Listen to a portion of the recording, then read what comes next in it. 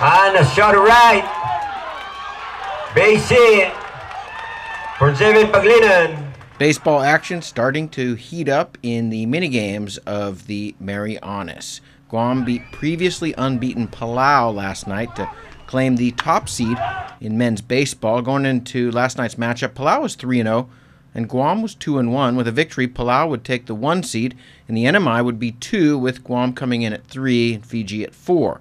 But Guam had other ideas as they jumped out to a big lead in the first inning with 6 runs before Palau settled down. Big crowd at Tanco Field. Palau threatened later in the game, but Guam's starting pitcher made a quality start, and Guam added a run later in the game. They take the match 7 to 2. That leaves three teams at 3 and 1 after pool play. Guam, Palau, and NMI finished with identical records, which means a tiebreaker system is used, and Guam came out on top with the fewest runs allowed. Palau will be seeded 2 and the NMI is seeded 3. What does that mean? Well, it means the NMI scheduled to play the afternoon game today against the four seed Fiji, and then Guam and Palau, one and two seeds, will face each other again tonight. The winner of that game will play for the gold medal on Friday. The loser of that game plays the winner of NMI and Fiji earlier in the day tomorrow, with the winner of that game advancing to a one game take all game for the gold medal. Sally Lemus down on the field with reaction. What can you tell us about tonight's game? You guys went undefeated, you know, for uh, for a while. What happened tonight? And uh, we start slow, you know. In the first inning, we had some errors and bad pitching, but along the way, we, we got it.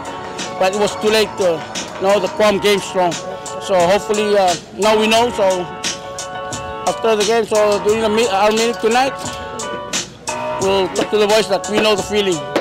With losing, you know, so, yeah. Hi, I'm Franklin Nanetti, and I'm a pitcher for Team Guam.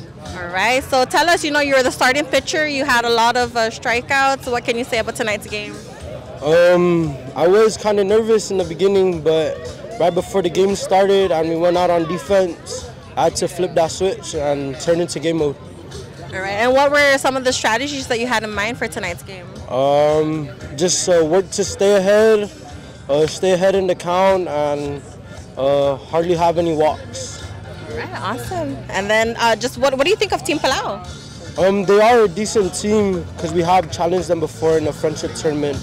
But I'm glad my team kept pushing to the very end, and I'm glad we came to get this dub. Uh, my name is David Pangilinan. I'm a catcher for Team Guam. All right, what can you say about tonight's game? Um, it was just the boys. The boys' energy is the one that brought it up.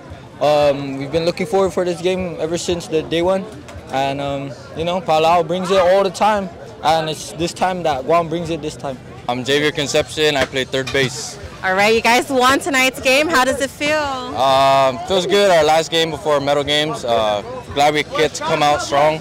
Uh, stay fighting through the whole bat, uh, through the whole game, and ended on top. All right, and what does this win mean to you? Uh, this win's just beginning. We're not here to celebrate yet. We got two more games to go uh, to hopefully bring home gold to Guam.